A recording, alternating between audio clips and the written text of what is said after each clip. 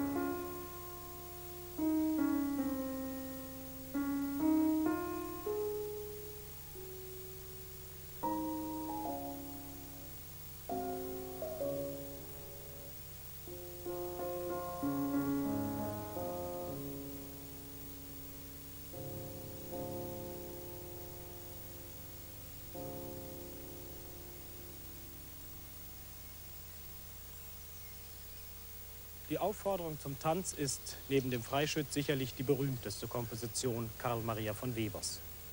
Viele freilich werden nur die populäre Orchesterfassung kennen und gar nicht wissen, dass das, was Michele Campanella eben auf dem Flügel spielte, das Original ist. Die Orchesterfassung stammt im Übrigen noch nicht einmal von der Hand Webers, sondern von Hector Berlioz. Er instrumentierte das Stück für eine Balletteinlage, die in eine Aufführung des Freischütz in der Pariser Oper eingeschoben werden musste, denn Oper ohne Ballett, das war im Frankreich des vorigen Jahrhunderts undenkbar. Als Klavierkomponist ist Weber heute nur noch wenigen bekannt. Und das, obwohl er einer der berühmtesten Klavierspieler seiner Zeit und einer der ersten reisenden Konzertvirtuosen war, fast gleichzeitig mit Paganini und noch vor Chopin, Clara Schumann und Franz Liszt. Sein Piano e forte Spiel, die aufrauschenden Crescendi und die für die damalige Zeit noch ganz ungewohnten Dezimgriffe sowie die Eleganz seines Vortrags waren Legende. Als Komponist steht er zwischen der Tradition der Wiener Klassik, auf deren Formmodelle er sich beruft, und der Virtuosen- und Programmmusik der Romantik, die er selbst so triumphal einläutete. Als Komponist so gut wie als Klavierspieler.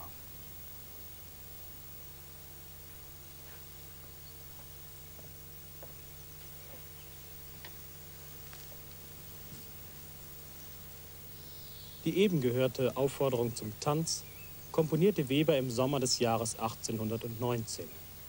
Sie stellt gewissermaßen eine Oper en Miniatur dar, denn der eigentliche Walzer, er ist eingebettet zwischen ein elegisches Vorspiel und einen Epilog, die laut Webers eigener Aussage die Szene vor und nach dem Tanz beschreiben. Wie der Herr auf die Dame zutritt, sie auffordert und die Dame zunächst, wie es dem Brauch der Zeit entspricht, schüchtern ablehnt aber dann bei einer erneuten Werbung doch in den Tanz willigt, bis schließlich zum Ende, wo der Herr die Dame wieder zu ihrem Platz zurückgeleitet und sie sich gegenseitig voneinander mit einer Verbeugung verabschieden. Zehn Jahre zuvor entstand das Werk, mit dem Weber seinen Ruhm als Klavierkomponist und Virtuose begründete, die sieben Variationen über die Arie Vien qua, Dorina Bella von Bianchi. Weber spielte das Stück häufig in seinen eigenen Konzertprogrammen und nach zeitgenössischen Berichten muss sein Vortrag von überwältigender Wirkung gewesen sein. Und diese Wirkung wurde oftmals noch dadurch erhöht, dass er zu Beginn mit seiner kleinen, aber offensichtlich recht ausdrucksfähigen Stimme das Thema selbst vortrug. Der Variationszyklus löst das einfache Dreiklangsthema der Arie kunstvoll in eine Folge kontrastierender Charaktersätze auf. Achten Sie, auf die im Polaka-Rhythmus stehende letzte Variation.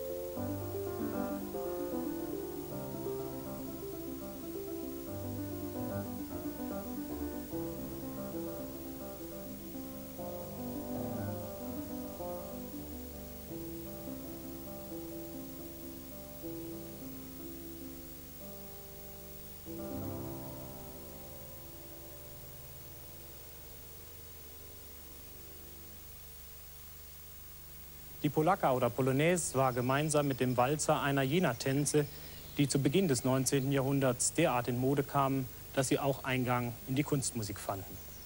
Polacca-Sätze gibt es schon bei Beethoven und Schubert und werden schließlich als Polonaisen bei Chopin fast so etwas wie zu einem Idiom des neu gefundenen polnischen Nationalbewusstseins.